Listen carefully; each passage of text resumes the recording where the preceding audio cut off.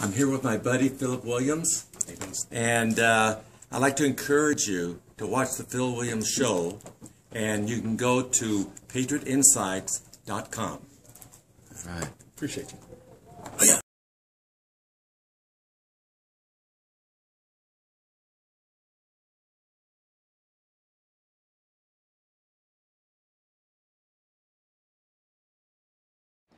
It is that time for my response to a tweet. And today's tweet says, The pipe dream of a third party shows you are on the pipe. And it guarantees Hillary. Hashtag Trump 2016. The pipe dream of a third party shows you are on the pipe and guarantees Hillary.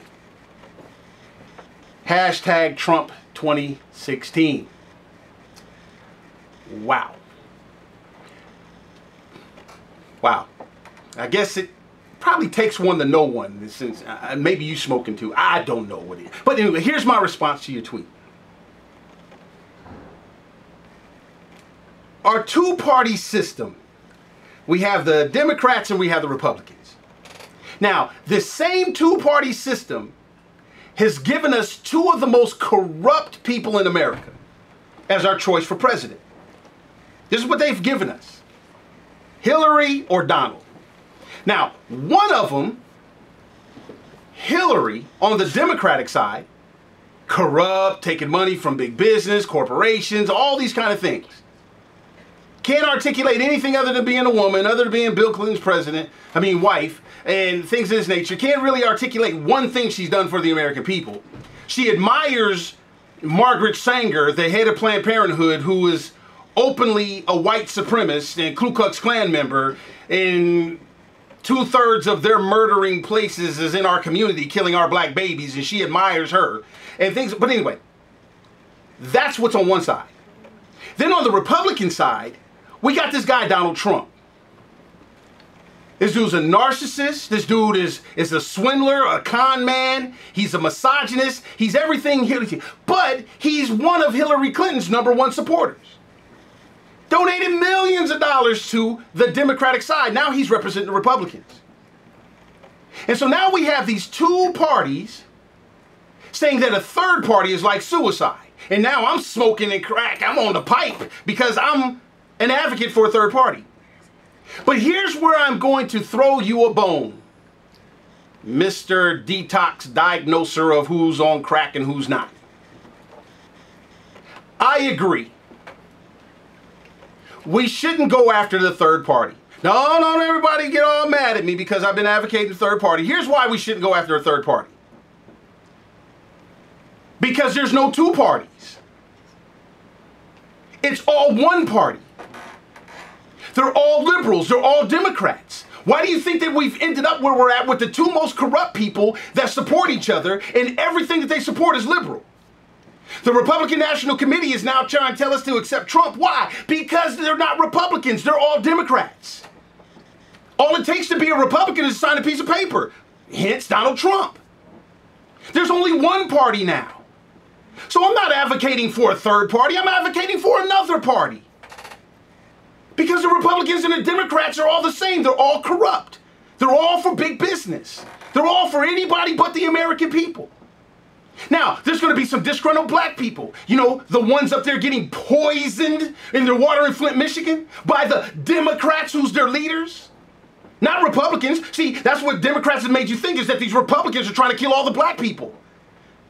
Um, sorry, Flint, Michigan's run by Democrats. Democrat blacks.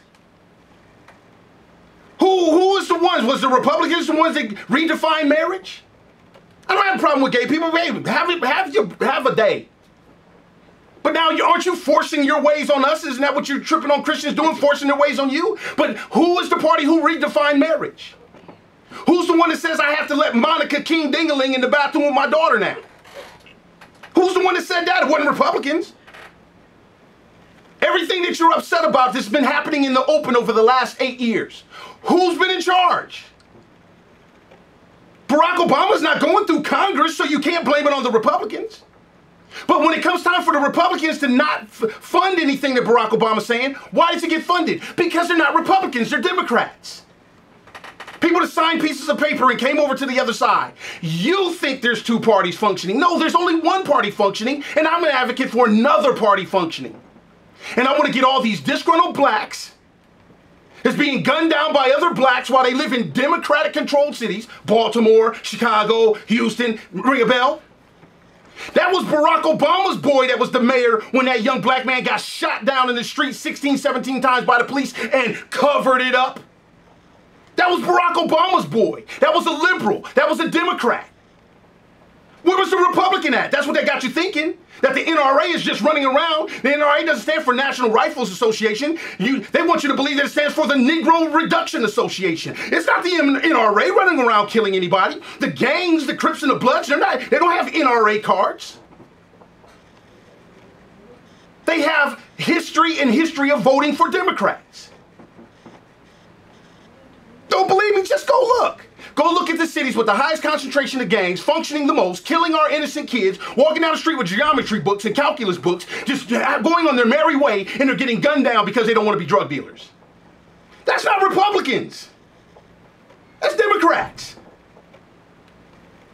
And over the last eight years, who has been supporting all these policies? Marriage redefined, a boy and a girl redefined. The kid is five years old, so what if he wore something pink? That doesn't mean he wants to be Tinkerbell. How is he to make a sexual decision like that, like it's normal, but it's abnormal for him to say, Mom, I want to play soccer this year, next year he wants to play basketball? You don't let him have those decisions. But when it comes to his sexuality, now all of a sudden everybody is just so smart and brilliant. He's freaking five. Tinkerbell this week, next week, G.I. Joe. But where's this stuff happening? Where did Jesus go? Is it Republicans telling you not to pray? No, it's Democrats. Go look at your local neighborhood atheist. So now, who changed the library books in the high schools? Why is my baby reading Fifty Shades of Grey? Why? Why is my elementary school kid reading I got two mommies and I'm a fish and you're a unicorn? Why is it? Come on, people, think about it. Who's doing it? Democrats. Who's running our school system now where this transgender thing is going wild? Make a third bathroom. Fine. If you want to go in there and argue, go ahead, Monica, go in there. Hey, yeah, how you doing? Yeah, my armpit hairs is growing. I'm trying to get him to quit. Yes, you know, because, you know, my, my boobies is hurting. I mean, come on, man. Shut up, dude. Don't bring that mess into a place where a dude is a dude and a girl is a girl. Go in your third bathroom, argue with your deep voice and your Adam's apple moving up and down. Have a nice day. I'm cool with that. But when you start forcing who you are on us, man, isn't that unfair? Isn't that what you're arguing about? But who's bringing that to us? Democrats. Did you know that the head of the Department of Education is the first person in Chicago to create an all gay high school? Barack Obama's boy. They play hoop together. Now, I admire Barack Obama. Why? Because I'm a black man that sees the decimation of my black community. Why? Because the black dad is not in the household helping raise his black children. The president is married to his wife, raising his children, and trust me, I got nothing but love for you, bruh. But your policies suck. It's truly un American. It's putting others against others. I don't want Black Lives Matter running around making it cool for my son to walk up and down the street and say, kill Whitey. Sorry, didn't end well for us when we didn't walk up and down the street and say, kill Whitey.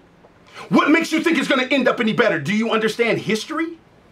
Now we got one side getting the black folks to run up and down and jumping in white folks' face, and then we got Donald Trump resurrecting the Ku Klux Klan and white supremacy. How do you think this is going to fare well? There's a reason why we got rid of the Ku Klux Klan. There's a reason why we teach our young black children to be respectful. There's a reason why we try to get them to be focused on their grade grades versus the name name. Come on, people, there's a reason why all these things are happening to us right now. Because the Republicans and the Democrats are the same and we need another party. We need an American party. We need some people with morals and values. This is what needs to take place. We need to understand that our young people are caught up in a violent time against each other that's unprecedented in the history of humanity. This is what needs to take place. We need to have all these disgruntled Americans, all these people that's frustrated at the two parties that's now functioning as one, and we need to propose an opposition to that so we can get the violence back down. We can get the child molestations back down. We can get the human trafficking unexistent.